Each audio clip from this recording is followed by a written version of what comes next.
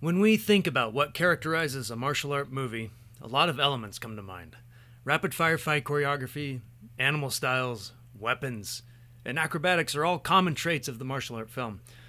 But there's one other element that adds an aesthetically pleasing touch to our favorite action scenes, and that is high dynamic kicking.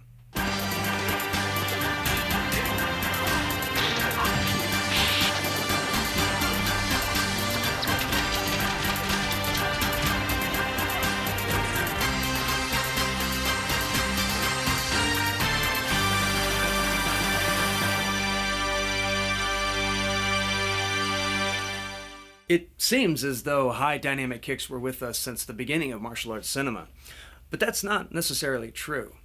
And so I want to investigate who it was who first innovated the dynamic kicking we've come to associate with martial arts cinema, and how that came to influence future action filmmakers all the way up to modern day. Now, before we look at martial arts cinema, I'd like to take a moment to look at the history of kicking in martial arts itself. Northern Chinese styles like Tan Tui were renowned for high kicks, which weren't your typical Korean or Japanese or Thai kicks, but rather more fluid kicks designed for flexibility rather than power. Meanwhile, Shotokan karate in the early 1900s was developing a very different kicking system, which not only had more power due to the chambering action before the kick was released, but these kicks also made an aesthetically pleasing geometric shape in the air when they were executed with proper form. During the Japanese occupation of Korea, many Koreans were studying Shotokan and began adapting those kicks into a variety of systems, or kwans, which all came together eventually into Taekwondo. Hapkido added in the flowiness of Tan Tui kicks to give it its own unique style. All these martial arts schools were eager to show off these kicks in demonstrations, and so they began perfecting the shapes of these kicks, or their lines, so that the audience could better appreciate them. Now, there's also a credible theory that the French brought the kicking style of savate to Japan, but it's debatable how much this really influenced Shotokan, and we might assume that the French picked up their dynamic kicking while exploring Southeast Asia.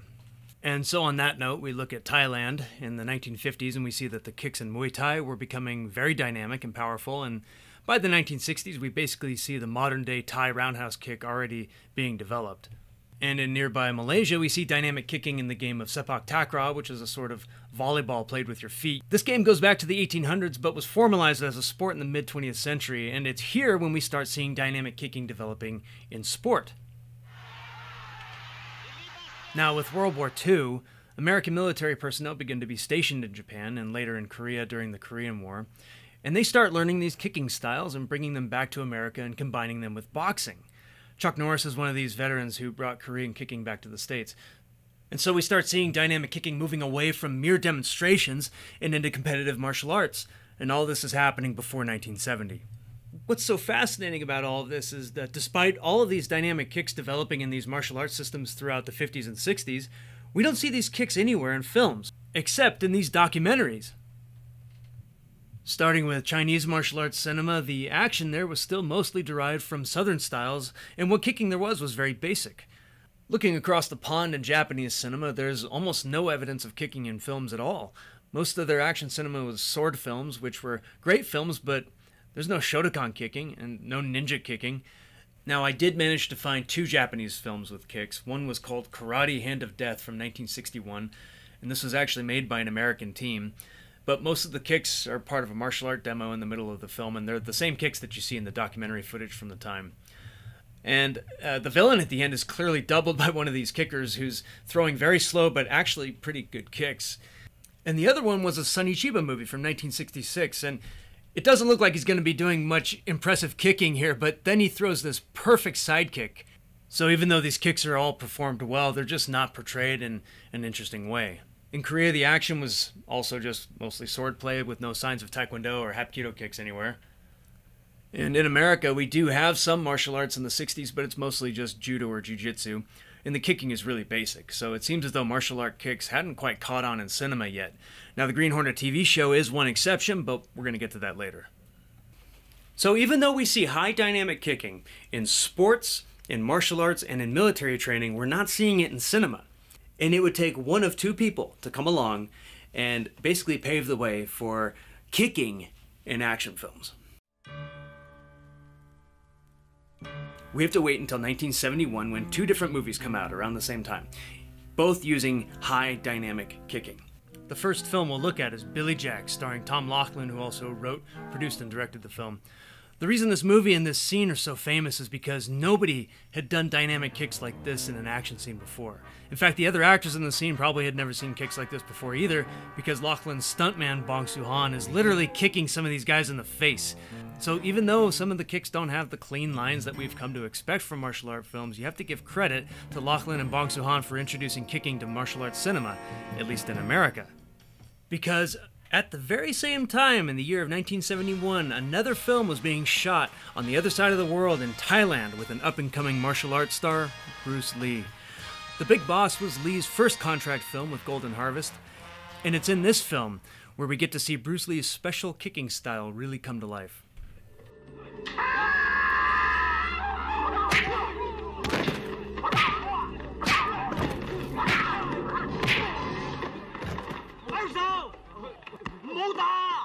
Now, Bruce's kicks in The Big Boss look just as good, if not better, than Bong Soo-han's kicks in Billy Jack. And I think that that's for a number of reasons. First of all, obviously, Bruce was very talented.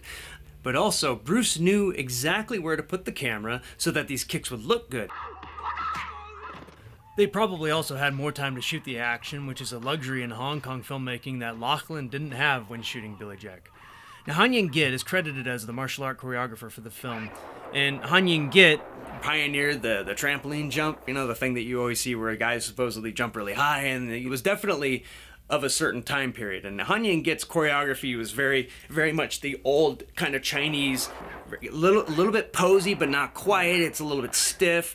Uh, the rhythm is strange, right? It's that very 1960s style that was on the way out now that Bruce was coming into the picture because you see this in the end fight where the two of them are going against each other and it looks like they're speaking different languages when they're fighting. So there was probably some ego between the two of them for sure. Han Ying-git being the veteran choreographer and Bruce Lee being this kind of new guy.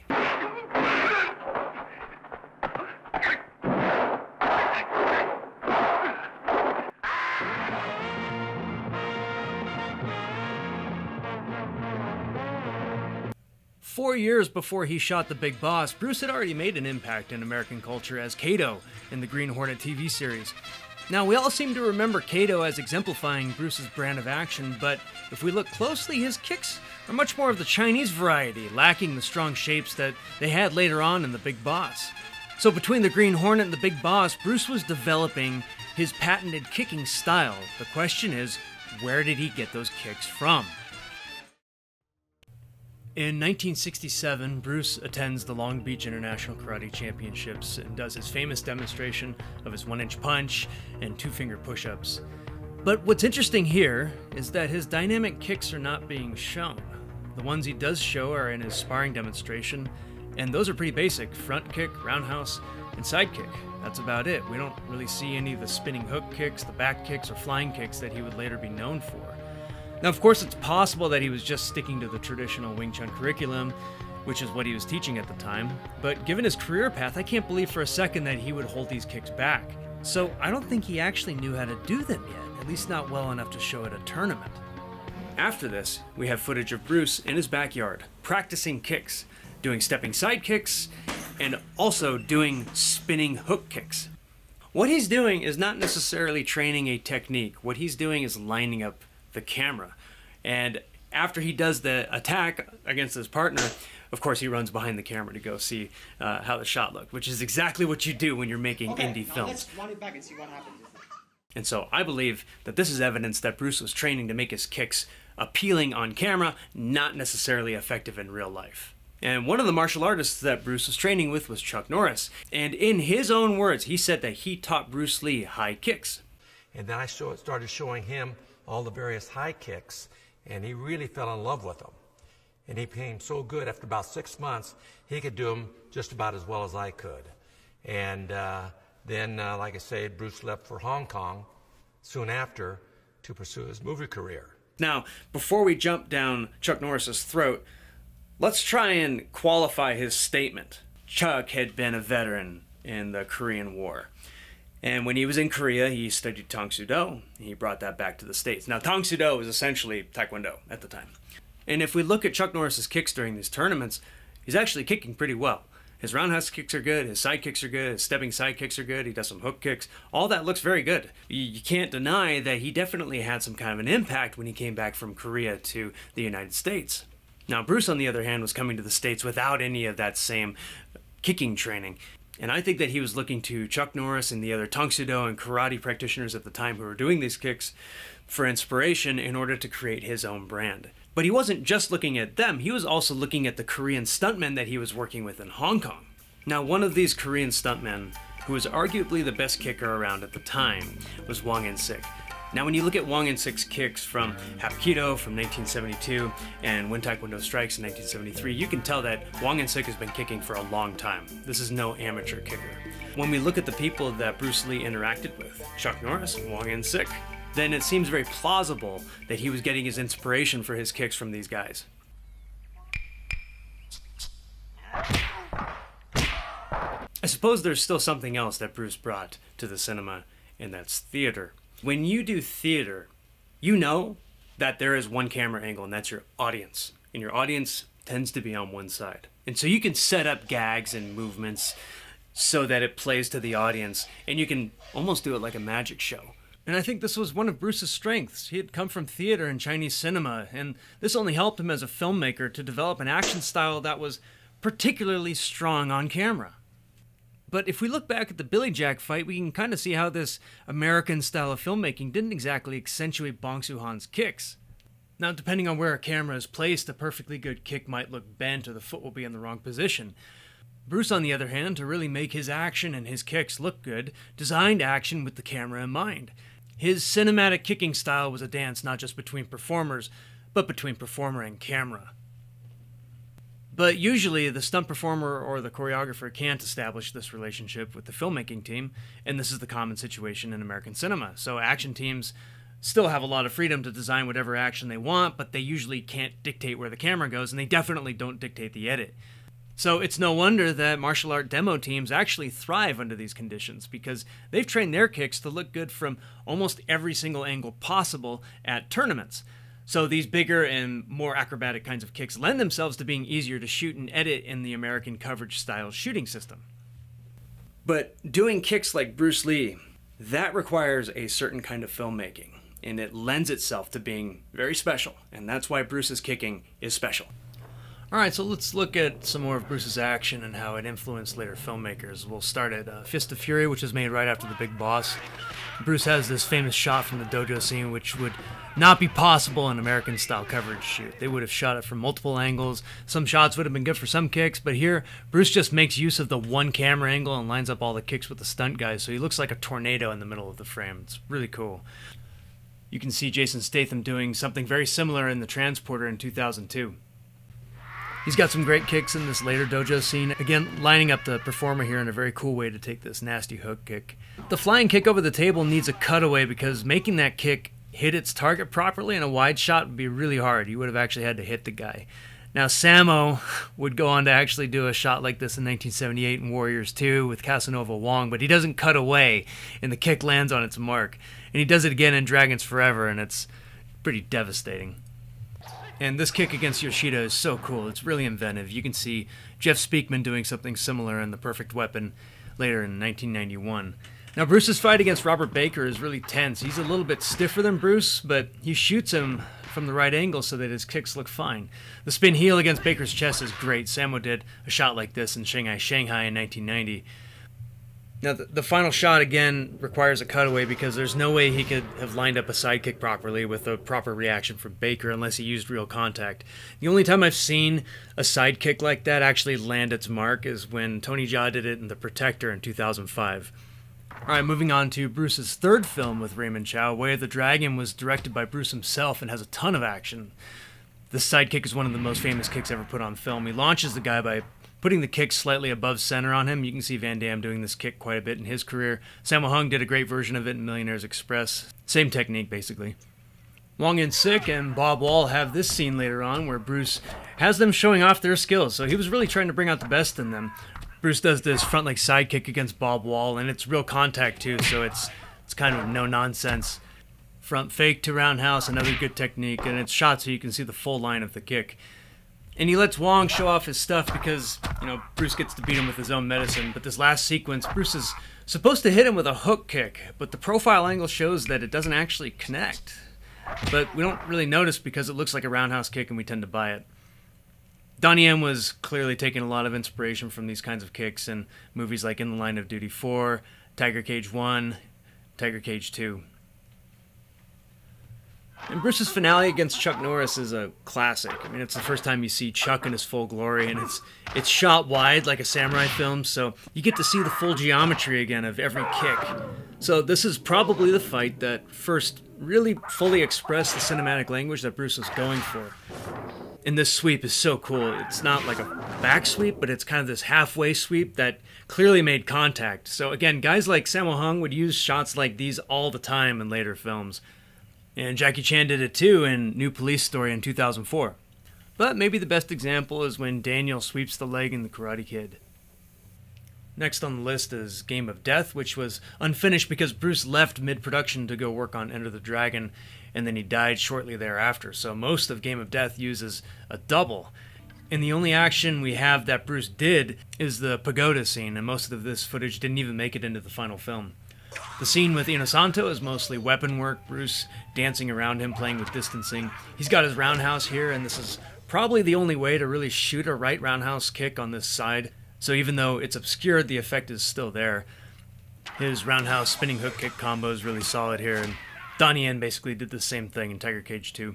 The next fight is with Ji Han-jae, who is a well-known Hapkido man, and he does this shoddy kick, but they kept it because I, I guess resetting the shelves in the background would have taken too long.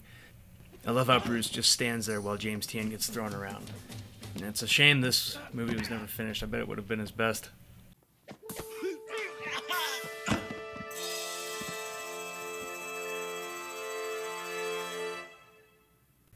And the last scene is with Kareem Abdul Jabbar. Again, this is more distancing choreography because Kareem's legs are so much longer than his. This is another great takedown, this time with a scissor. And I know we're focusing on kicks, but man, this punch windup is just awesome. There's a jump hook kick, shot perfectly. The bottom leg is tucked. And this last roundhouse kick is lined up just perfectly. It almost looks like he makes contact, but maybe he didn't. And last but definitely not least is Enter the Dragon. One of the greatest aspects of Enter the Dragon is how little editing there is during the fight scenes. The action plays out mostly in these long, wide takes, and just like in Way of the Dragon, you really get to see the geometry of the kicks, and I can only assume Bruce had a heavy hand in this. Now, Bruce has a stunt double here for the backflip kick. This is actually Yuen Wah. And this is one of the many moves that inspired the character Law in the 1994 fighting game Tekken. Law's sidekick, roundhouse kicks, spin hook kicks, the whole character really, they're all inspired by Bruce. And even Mortal Kombat and Street Fighter had characters based on Bruce with a bunch of his signature kicks. One of the highlights is this insane groin kick against Bob Wall. That's something that Sammo did as well in Eastern Condors in 1985. Yeah, here's the stepping side kick again, and then he plants this roundhouse kick right on his head, full contact. Tony Jaa and his mentor Panna probably were inspired by this and made an entire career in Thailand out of real contact hits. The scenes in the underground layer are even better because there's literally no editing in these fights. Bruce just stages everything for the camera and he lets it all play out in these single takes and it's beautiful. Now, I'm not exactly sure why he did this, but I have a suspicion that Bruce was getting annoyed at how long it took the American crew to set up shots. So he would have just decided, screw it, let's just do one shot and move on. And these scenes are Chambara quality as a result.